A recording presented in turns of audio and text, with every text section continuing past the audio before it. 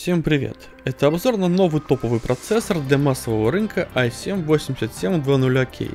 Этот обзор уникален тем, что в нем принимает участие процессор не отобранный для тестирования компанией Intel или ее партнерами, а среднестатистический, который был куплен в рознице, поэтому мои результаты не будут сильно отличаться от общей массы.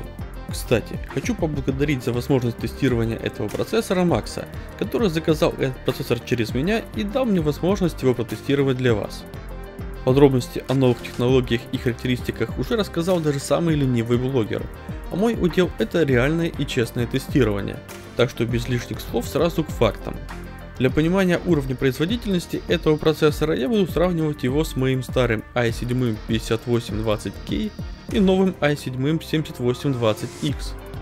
Тестирование процессора проходило в связке с максимально подходящим для него железом, чтобы раскрыть весь его потенциал, а в роли охлаждения были заводская и кастомные водянки. И начну с рабочих температур процессора. Первая часть тестирования процессора проходила на заводской водянке. При стоковых настройках системы процессор в основном работал на частоте 4,3 ГГц, и иногда на поточных задачах его частота достигала 4,5 ГГц хотя она должна была достигать 4,7 ГГц. При этом температура в простое была в районе 35 градусов Цельсия, а под нагрузкой резко поднималась до 60-70. Ну а в стресс-тестах, таких как AIDA 64 и Prime 95, температура процессора поднималась еще выше и в среднем достигала 76-78 градусов.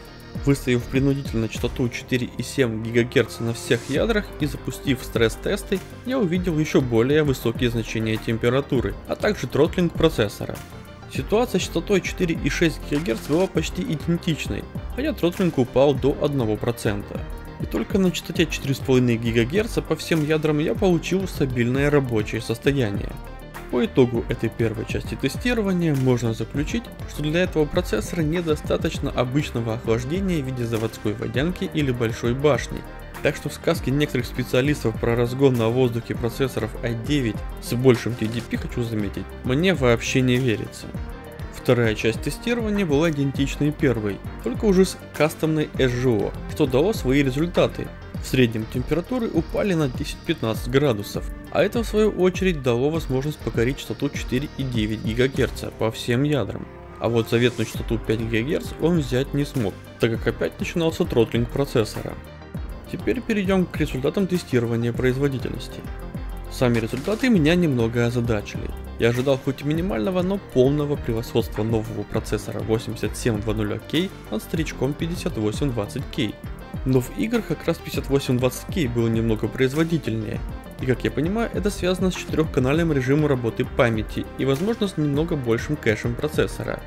Такое суждение доказывают синтетические тесты в программе AIDA 64, где по чтению из памяти и запись в нее 5820K обходит 8720K.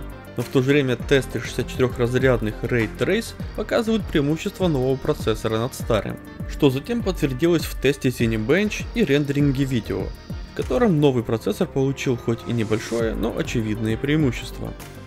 По итогу можно сказать, что новые топовые процессоры для массового рынка дают производительность равную младшей модели топовой платформы, а иногда даже немного большую, но нужно позаботиться о хорошем охлаждении.